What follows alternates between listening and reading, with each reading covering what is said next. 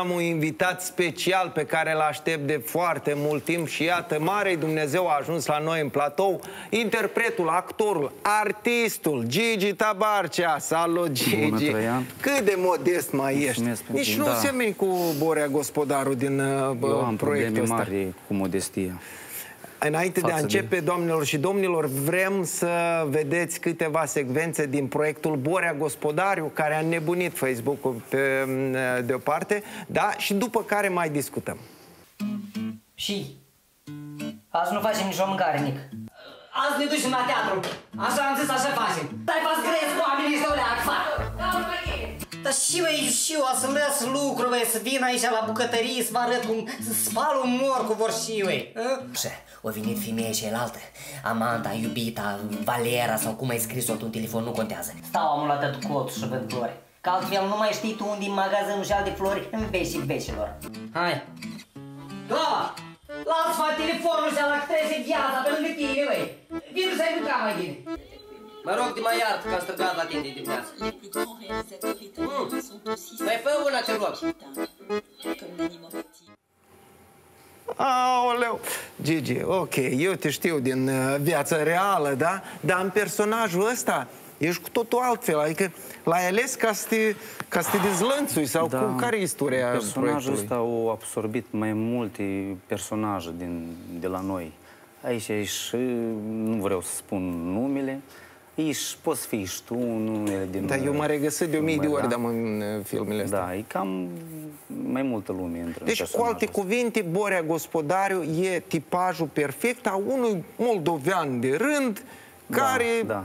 Mă rog, are zmeuri în fundul grădinii, n-are, dar oricum vrea și el să facă exact. o dulceață. Exact. Dar tu te-ai așteptat că o să aibă așa impact. Adică tu ai peste 50.000 de urmăritori, 700.000 de, de distribuiri și comentarii. Nu, asta e Asta e bine, da? E bine. Eu nu urmăresc statistica și nici nu mă pricep tare la statistică. Câtă modestie extraordinar. Dar lumea oricum pe stradă cred că îți strigă, a, Bore! Da, am ultima perioadă, chiar mă opresc. Bun, dar ideea de unde a pornit? Presupun că soția ta ți-a sugerat mm. că să mai ieși o leac de umbră. Nu știu, eram liber o perioadă și am zis de să fac o ofseangă.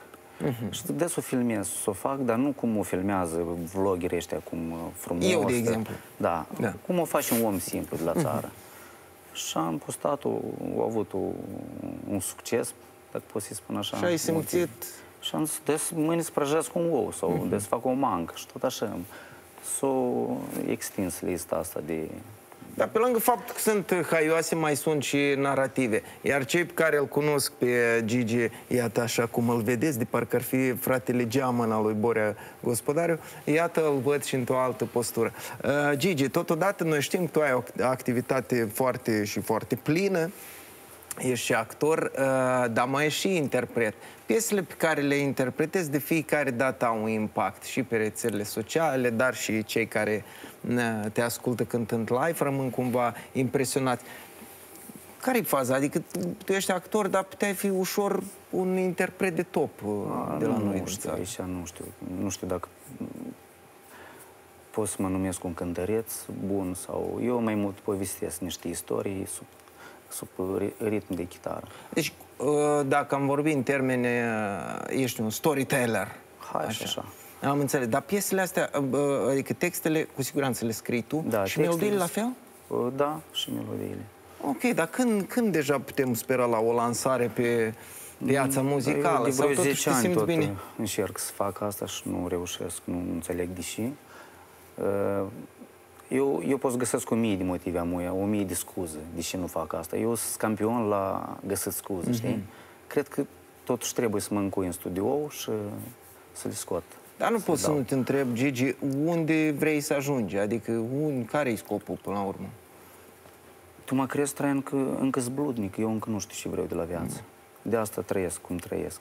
E, că cred că mai e încă vreo 10 ani, frățioare, că am trecut și eu prin, uh, prin ce trece acum, dar adevărul e că te descurci bine, de ce nu te-ai apucat? Noi știm că tu ești actor și, uh, bă, desigur, deja s-a creat stereotipul ăsta că actorii nu duc tare ușor, adică nu le este ușor în Republica Moldova, dar iată tu reziști și mergi mai departe și emani și energie și așa mai departe. Dar ce te face să, să nu lași capul și să, să mergi până la capăt? Nu mă uit, uh, nu mă uit ce spune lumea, mă conduc doar după și îmi dictează inima și... Doamnelor și domnilor, vă spuneam mai devreme că a venit uh, Gigi și cu uh, chitara și că impresionează de fiecare dată. Vă veți convinge în următoarele clipe. Gigi, te rog frumos uh, să ne interpretezi da. ceea ce crezi tu că... Eu sigur că majoritatea au uh, auzit această piesă. E piesa cu care te-ai... Da, mulți s-au regăsit în ea și tot atât de mulți nu știu că eu cânt. Uh-huh. Doamnelor am... și domnilor, în premieră la emisiunea Acasă, Gigi Tabarcea, el cântă și cântă foarte și foarte bine, credeți-mă.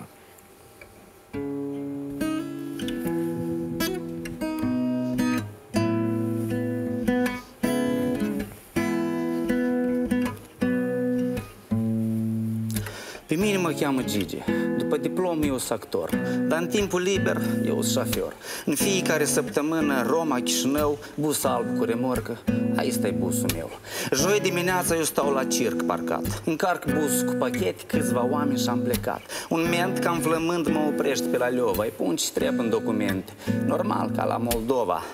La vamă stăm vreo jumătate de ceas în rând, ne cheamă Vamiuș, că și el e flămând. Îi spun că n-am nică, el mă controlează oricum, niște euro în pașaport și mi urează drum bun. Frații români au scanner serios, aici nimeni nu scap, tăți dau pachetele jos. Peste tăt nu da mită și ani de închisoare, să dă și în Europa, numai că taxa e mai mare. Până în Italia drumul e ușor, văem nu, dacă busul mergi ghinu, zi jumate și am ajuns. După duș mă întind pe scaune, cam îi strâmt, dar așa de obosit niciodată nu le simt.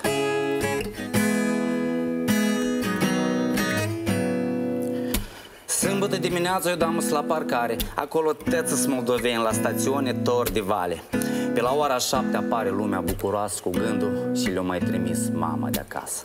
Primul vine Jeca, cobăh troică. Are 25 de ani, lucrează la stroică. Nu stă mult cu mine, el se grăbește. Dacă întârzi la lucru, șeful nu-i plătește. Vine și Natasha, e dam șchiopătează. Are 10 ani de când în Italia lucrează. Bărbatul i-a trimis niște medicamente pentru chișoare Dar el trimite jucării la copii și de mâncare. Grija vine întotdeauna pe neașteptate. Aici ne aduce biciclete, ele sunt furate De când de aici numai cu asta s-a ocupat. Roți, motoare, telefoane, de tăi furat. Alina e o fată frumoasă și norocoasă S-a măritat cu un italian și are norom acasă. E nu trimite nica, numai bani Și mă întreabă întotdeauna și să mai aude pe la Chitscania O, ia ca și gheamișa apare el face curățenie. Aici, la parcare. De un an încoace, el aproape în tătă ziua îi bat. Eu îl înțeleg, pe dânsul femeie l-a lăsat Să aude trenul, înseamnă că tante Zina vine Cu două genți în mână și una pe umărul ține. Tot pentru Andrian să aibă și pune pe masă. Mamă, eu nu vreau nic, vină tu acasă. Serios are o casă frumoasă în Băcioi Dar aici închiriază o cameră, doi pe doi Din nou șop tot strânge bani, o construiește. El stă aici, dar acasă burianul crește. Pentru tante Liuba viața dam n-are sens. De când lui Vaniușa motociclă eu trimis Era tânăr, vroia să soare, avea o fată. De două luni femeia basma neagră poartă. Istoriile astea eu le aud în fiecare săptămână. Dor de copii, de mama care de mai bătrână. Dor de tata care a murit și nu-și pot ierta că la înmormântare nu a venit Nimeni nu și-a imaginat că așa o să fie Tăți s-a dus să facă bani, să scăpe de sărășie și sunt puțini care și-au dat seama că banul nu înlocuiește dragostea de mamă. Wow! Wow, doamnelor și domnilor, ce să zic? Nu poți să nu simți fiori uh, ascultând uh, ce faci la chitară și ce reciți. Uh, Gigi, e realitatea noastră. Eu nu știu dacă... Cred că s-au regăsit foarte și foarte mulți în, în piesa asta. Gigi, ne-ai sensibilizat, gata, ne-ai pur și simplu ne-ai lăsat fără grai. Noi îți mulțumim pentru tot ceea ce faci, tot ceea ce creezi și totodată îți dorim succes în spectacolele tale din uh, diaspora, pentru că știm Da. că cu trupa veți merge acum într-un turneu, Da. așa că toți moldovenii din Italia să știți că, să știți că Gigi vine la voi cu trupa teatrului Luceafărul. Provenim în Italia cu spectacolul Testamentul de Gheorghe Urschi, îl știți toți. E, puteți să vă luați gata șervețele, cât mai multe, că o să bociți, Așa vă că garantez. cei care sunt acum în Milano, Padova și Torino, vă rog să vă grăbiți să luați bilete, posibil, Bilete și șervețele. da. Îți mulțumim, Gigi.